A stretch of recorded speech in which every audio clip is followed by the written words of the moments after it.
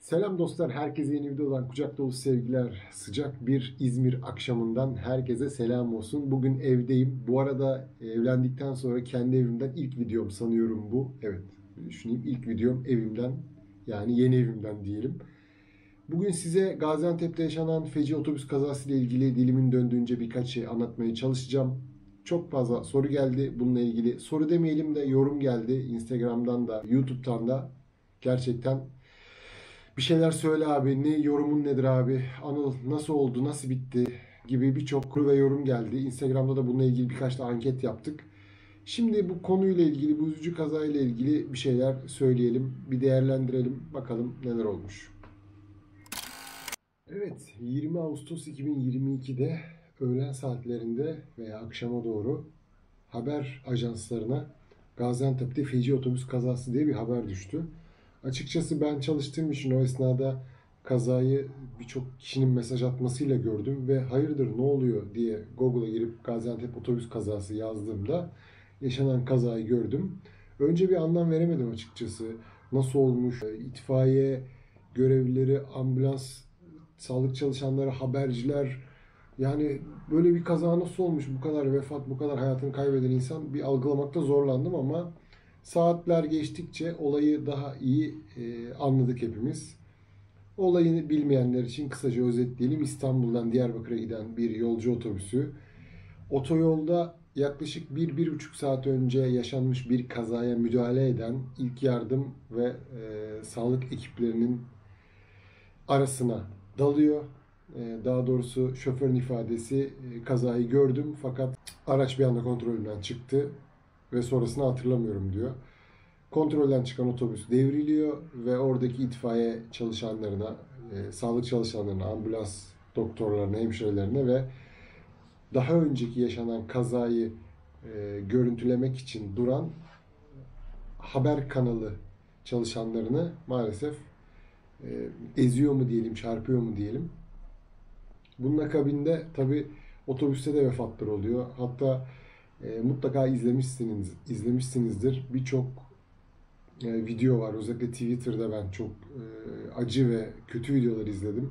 Otobüsün altında kalanlar, yolda hayatını kaybetmiş, uzuvları kopmuş insanlar vesaire vesaire. Çok fazla detaya girmeyelim. Yani özetle İstanbul'dan Diyarbakır'a giden bir yolcu otobüsü otoyolda kaza olmuş. Sağlık ekipleri, itfaiye ekipleri kazaya müdahale ediyor. Yolcu otobüsü kazayı son anda fark ediyor yavaşlamak için frene basıyor veya manevra yapıyor. Araba devriliyor, kontrolden çıkıyor ve oradaki sağlık ekibi ve itfaiye ekibi ve işte olayı görüntüleyen habercilere çarpıyor. Kaza maalesef böyle yaşanıyor. Ee, şöyle şimdi size buradan birkaç bir şey de okumak istiyorum. Kazadan birkaç gün sonra çok ciddi iddialar atıldı ortaya. Bunlardan en çarpıcısı Otobüsün takografının kaza öncesi 130 km hızda olduğu söylentisi. Bu olabilir mi? Öncelikle şunu söyleyelim.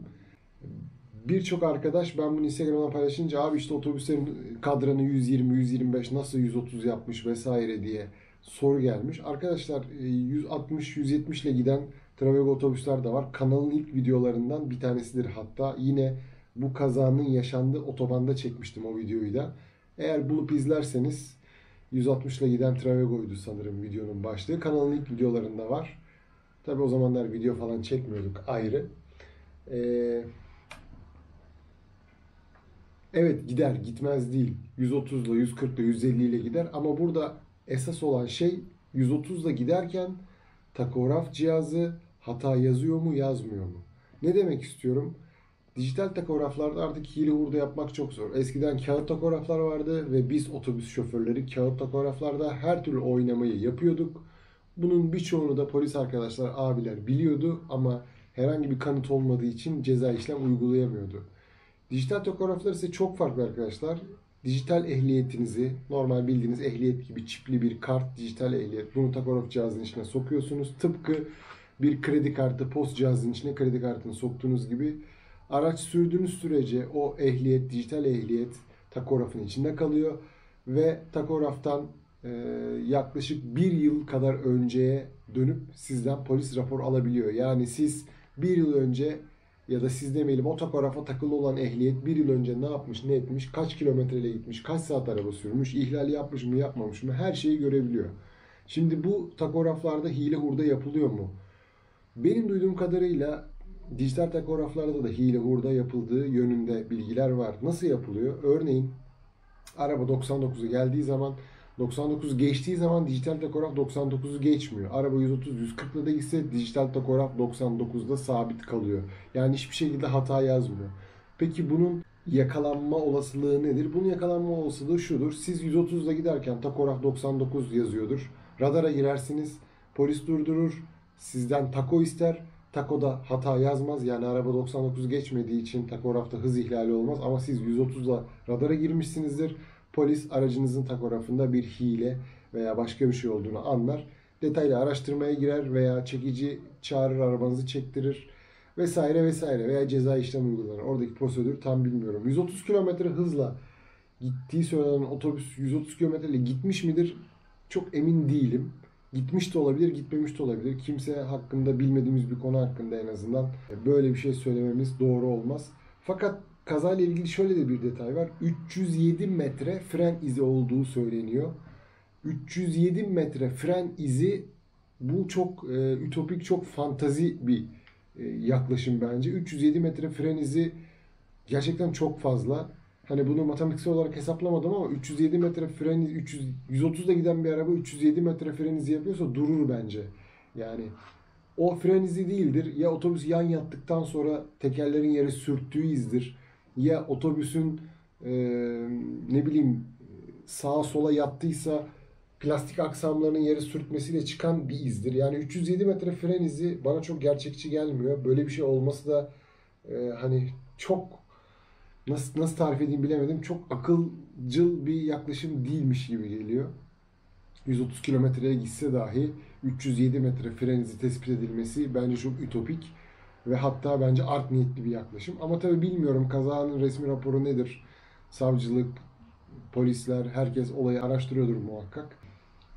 Ama 307 metre fren izi bana çok ütopik geliyor. Şoför arkadaş da ifadesinde kazayı 50-60 metre kala fark ettim. Frene bastım araç kontrolden çıktı. Sonrasını hatırlamıyorum demiş. Bana bu konuyla ilgili de çok soru geldi. Nasıl olur da kazayı 20-30 metre 50 metre kala fark eder diye. Şimdi şurada şöyle bir önemli durum da var. O sırada kaza yerinde çalışma yapan ekip arkadaşları, işte itfaiyeciler, polisler, e, sağlık ekipleri e, eğer ki gerekli önlemi almışlarsa kaza ile ilgili yani kaza yerini tam ben bilmiyorum. Belki bir virajdır. Döner dönmez otobüs karşısında kazayı gördüyse sürati de fazlaysa panikleyip kontrol kaybetmiş olabilir. Ama gerekli e, nasıl anlatayım yol tedbirleri alınmış alınmışsa 2-3 kilometre öteden genelde otobanlarda öyle olur çünkü ben o otoyolu karavan işinde de çok fazla kullandım. O yolu iyi biliyorum. Genelde böyle durumlarda birkaç kilometre geriden yolda bir sıkıntı olduğu, çalışma olduğu, kaza olduğu tabelaları konur. Eğer o tabelalar konulmamışsa, kazaya yakın 100-200 metre mesafe kala konulmuşsa belki şoför arkadaş geç fark etmiş olabilir, çay içiyor olabilir, telefonla uğraşıyor olabilir, yanındakiyle sohbet ediyor olabilir, yorgunluk çökmüş olabilir, dikkati dağılmış olabilir. Çünkü sürüş süresiyle alakalı bir bilgi yok internette. Yani kaç saattir direksiyondaymış kaza olduğunda. Ee, en fazla 4-4,5 saat e, direksiyonda olmuştur diye tahmin ediyorum. Çünkü yasal kullanım süresi 4,5 saat zaten. Ama belli ki burada bir e, maalesef dalgınlık ya da e, yorgunluğa bağlı bir önündeki olayı fark etmeme durumu söz konusu var gibi tahmin ediyorum. Tabii ne yaşandı ne oldu ki hiçbirimiz bilemeyiz. Sadece buradan gördüğümüz kadarıyla, haberlerden okuduğumuz kadarıyla bir şeyler söylüyoruz. Ama tabii ki ne yazık ki diyelim 15-16 vefat var sanıyorum. Bunların içinde sağlık çalışanları, 3 itfaiyeci, 3 sağlık görevlisi, 2 basın mensubu. Otobüste de sanıyorum 10 kişi, 9-10 kişi vefat etmiş. Allah kimseye yaşatmasın. Gerçekten zor bir durum. Bunun kazayla ilgili otobüsün daha önce de başka bir yerde kaza yaptığı haberleri yapıldı.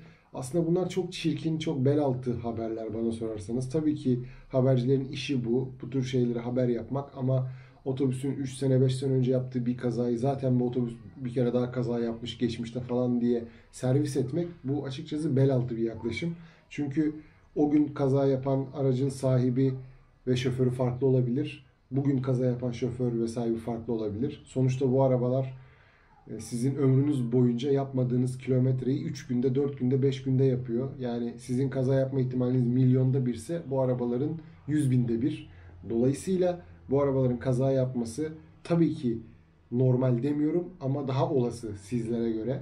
En azından bu haberi yapanlara göre. O yüzden birazcık daha vicdanlı, birazcık daha merhametli davranmak lazım. Tabii ki bir hata kusuru varsa şoförde veya e, oradaki kontrolü, yolun e, güvenliğini sağlamayanlarda her kimdeyse gerekli cezaları mutlaka alacaktır. Zaten e, şoför arkadaş sanıyorum tutuklanmış. Umuyorum daha fazla can yanmadan bu iş sonuçlanır. Yani e, sizlere ara ara böyle video şeyler de e, kazayla ilgili e, resimler de koyuyorum. Soruşturma başlatılmış. Mesela şurada bir yaralı kurtulan itfaiye Gaziantep Belediyesi itfaiye çalışanının bir yorumu var. Onu söylemek istiyorum. Yolda bir kaza vardı. Biz de öyle yardım etmek için baktık. Sabah saat 10 falandı. Baktık sağda yol kenarında kadınlar el el hareketi yapıyor. Ee, dedik herhalde kaza var yardım edelim diye indik arabadan. Araba dereye uçmuştu. Bu otobüs kaza yapmadan bir saat önce olan olay. Orada birisi vefat etmişti. Birine yardım ettik. Ambulanstır, polistir hepsini aradık. Biz 1-2 saat falan geçti. Hemen hemen orada bir saat uğraştık. Zar zor çıkarttık hastayı. Ambulansa yetiştiriyorduk. Ben de sedyede yer yok diye ambulansın ön tarafına dolanıyordum. Döndüğüm an kafamı kaldırdım. Bir baktım yolcu otobüsü yalpalayarak bize geliyor. Yani otobüsü kaza yerindeki e, görgü tanığı yalpalayarak yani sağ sol yaparak geldiğini görmüş. Demek ki otobüs en fazla 100 metre falan gerideydi diye tahmin ediyorum. Sonra otobüs devrildi. Kaçın diye bağırdım. Otobüs geliyor. Kaçın diye bağırdım. Ondan sonrasını çok hatırlamıyorum. Büyük ihtimalle bana ambulans vurdu. Bizim arkadaşlar neredeydi o sırada bilmiyorum. Sedye tutuyordum. Ambulans arka tarafına direkt teması olanlar vardı. Ben ambulansın ön tarafındaydım. Bu şekilde kurtuldum. Yani otobüs gözle görülür şekilde yalpalamaya başladığını oradaki insanlar görmüş ve ondan sonra otobüs devrilip kayarak maalesef oradaki insanlara çarpmış. Ee, bakalım başka ne var burada? Kazayla ilgili soruşturma yürütülüyor. Gaziantep baş şey Nizip Cumhuriyet Başsavcılığı yürütüyormuş. Kaza Nizip'e yakın bir yerde olmuş çünkü.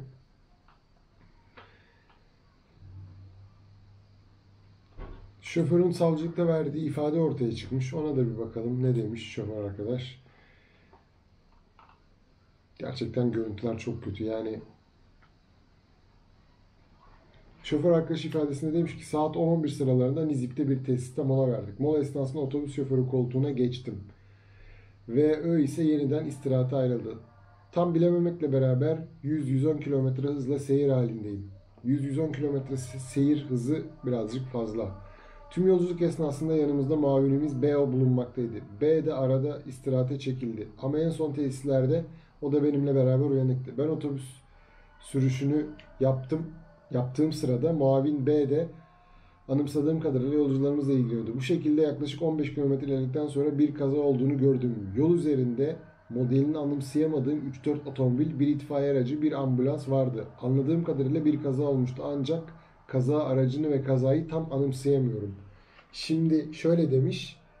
10 tesisten çıktıktan yani istirahatten demin söyledim ya şoför kaç saattir araba sürüyordu bilmiyorum diye. Şoför 15 dakikadır araba sürüyormuş istirahatten uyanmış. Saat 10-11 sularıymış. Aslında saat bu da demek oluyor ki 6'da 7'de yatmış.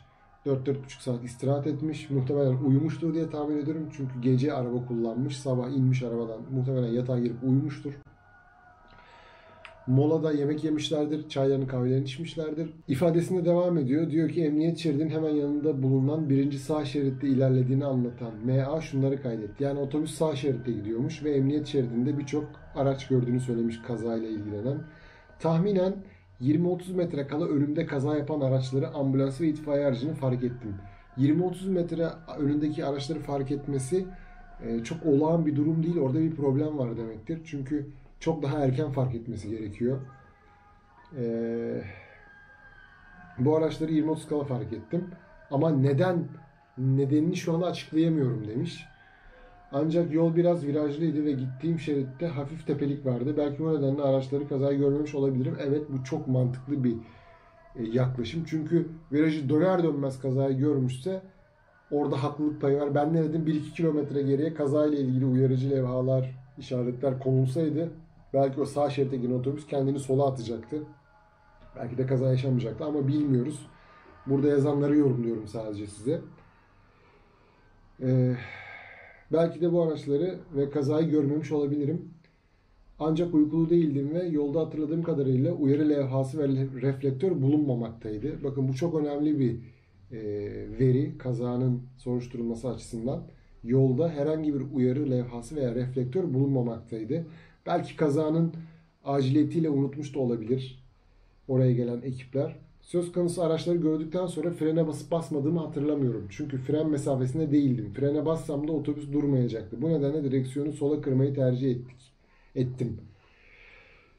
Belki bu şekilde kazadan kaçış ihtimalimiz olacak. Daha sonra otobüs herhangi bir aracı itfaiye ya da ambulansa çarptım hatırlamıyorum. En son baktığım otobüsün yan yatmış olduğunu gördüm. Gerçekleşen kazada vefat eden ile yaralanan insanlardan ötürü çok üzgünüm. Yaşanılan olayla ilgili gerçekten kendimi e, ölmesini, kendimin ölmesini tercih ederdim demiş. Yani bunu gerçekten bu işi yapan birisi olarak çok iyi anlıyorum. E, şoför arkadaş kaza engel olmadığı için çok pişman olduğunu da söylemiş. Eminim çok pişmanlık duyduğundan, çok büyük ruhsal sıkıntılar yaşadığından eminim. Kimse isteyerek bilerek kaza yapmak istemez. Bunu da lütfen altını çizerek söylüyorum. Kimse isteyerek kaza yapmak istemez. Kimse insanların canına kastetmek istemez. Ama işte bir dikkatsizlik maalesef veya bazı alınmayan önlemler bu kazaya sebep olmuş görünüyor. Yani şoför arkadaşın ifadesi bu yönde. Sizlerin de yorumlarını bekliyorum. Şunu da söylemek isterim. Ben otorite değilim. Sadece bir otobüs şoförü olarak yaşanan olayla ilgili yorumları, ifadeleri, kaza ile ilgili doneleri okuyup sizlere yorumlamaya çalıştım. Şu suçludur, bu suçludur demek açıkçası çok doğru olmaz. Ben elimden geldiğince buradaki yorumları size yorumlamaya çalıştım. Sizlerin de yorumlarını bekliyorum. Umarım böyle kazalar bir daha yaşanmaz. Bir sonraki videoda görüşmek üzere. Kendinize iyi bakın. Hoşçakalın.